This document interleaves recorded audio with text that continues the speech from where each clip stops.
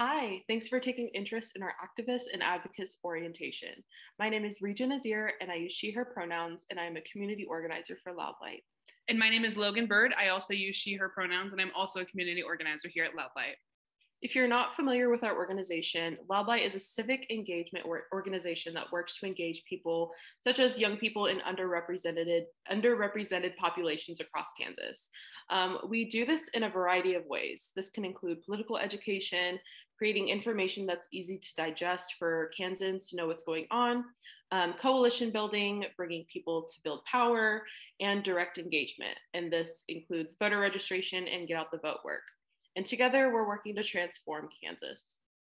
So, who is Loud Light? Um, a huge problem that we see here in Kansas is that many Kansans are marginalized and dangerously underrepresented in both voter turnout and elected office. So, this uh, translate to less voter turnout means fewer needs met. We, the people, hire and fire our government leaders, but entire communities aren't showing up to the polls. When a community doesn't cast ballots, politicians have no reason to address the issues facing that community. Worse, as turnout plummets, large donations from major corporations become increasingly powerful in building legislation that determines our future. So, our solution is building community power. Let's overcome apathy, build community, and demand change. Turn out the vote and turn up democracy. Together, we can realize representation and create a government that works for everyone. This is where you come in. Take action with us to help transform Kansas. So let's go ahead and talk about our programs. So, starting with issue advocacy, Legislative advocacy is like providing testimony, meeting with legislators, and anything that is hands on work. Local voting rights advocacy, which includes county level officials who run in elections, we can work with them to make voting more accessible um, to people across Kansas.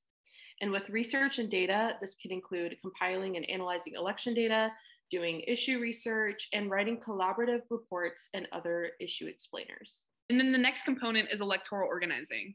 The first part of that is voter education, where we educate folks on their right to vote and combat disinformation in politics. After that comes election protection. Loud Light is currently recruiting poll observers to help combat voter suppression live during election day by partnering with the ACLU of Kansas legal department to report and resolve violations as they happen. With that also comes notice and curing uh, provisional ballots, things like helping people turn in identification or whatever issue to make sure that their provisional ballot counts. Um, the last component to electoral organizing is voter registration and turnout. And then after that, we'll go ahead and pass over to Regis to talk about our fellowships. So Loud Light has different areas for fellowships that are offered to um, young people across Kansas, um, specifically kids who are in um, universities at the moment. So, in the springtime, we have our legislative engagement and advocacy, which helps people learn a little bit more about what's going on during our legislative session. And then we move on to summer, which is based more in community organizing, um, such as Logan and I, and political leadership development.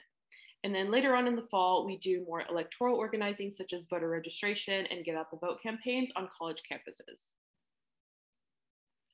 So after that comes our student power campaign.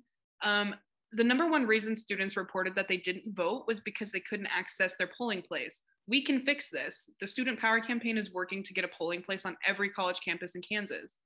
Higher education partners, such as fellow recruitment, Student Power Campaign, getting a polling place on your campus, and civic engagement activities.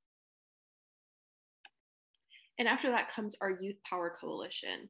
The coalition is consists consists of youth advocacy organizations that get young people involved um, at the table where decisions are being made. Um, earlier this year, we hosted our very first YAS Week, which is Youth Advocacy Summit, um, and we had different areas where young people across the state could get involved with our legislative session.